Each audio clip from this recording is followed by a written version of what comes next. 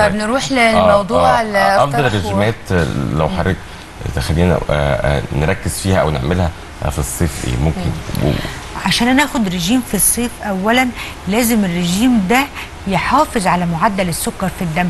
لانك دايما تسمع في الصيف ده أنا هبطت ده أنا سخسخت السكر اتحرق عندي فاضطريت آكل حاجة حلوة. بالظبط. آه.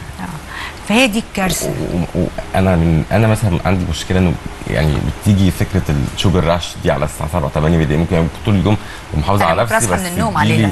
بالليل كده وسط غروب دي بقى sugar في rush منتهى رهيبة. الخ... آه آه دي أنا في منتهى الخطورة. نص الليل. دي في منتهى الخطورة. ليه؟ ليها معنيين إن أنا السكر يتحرق زي ما الناس بيتخيلوا وابقى خلاص بترعش وعايزه أكل حاجة حلوة. مم. تمام؟ فاكل حاجة حلوة بعديها بساعتين بقى أتعب برضو. دي بتبقى موس في ال- بتبقى نتيجة حاجة اسمها بنسميها hyperinsulinemia يعني البنكرياس بيفرز كمية عالية جدا من الإنسولين.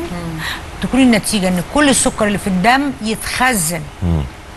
فالشخص يحس بالرعشة والهبات والهبوط وإن هو عاوز يلحق ياكل حاجة حلوة. طب يعمل إيه؟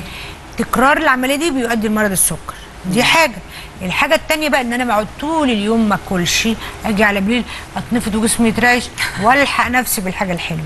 دي بتبقى نتيجة بنسميها إن أنا بعمل stimulation بنشط دايرة بسميها starvation protection mechanism الدايرة دي بتعمل إيه؟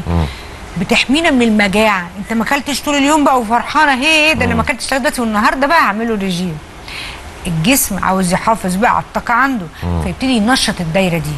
نمرة واحد هتوقف الحرق. طول ما أنا ما باكلش جسمي ما بيحرقش. نمرة اتنين بقى الجسم يفرز إنزيم يعمل شراهة على وجبة تقيلة حاجة حلوة. ثلاثة كل اللي آكله يخزنه. كل اللي بتاكل تخلص عشان كده أغلبية الناس المليانة سمنة تلاقيها ما بتفطرش الصبح. طبعا.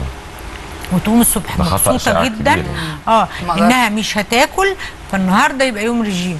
تفضل كده لغاية الساعة 5 6 7 بعدين تنهار. ماكسيمم بقى.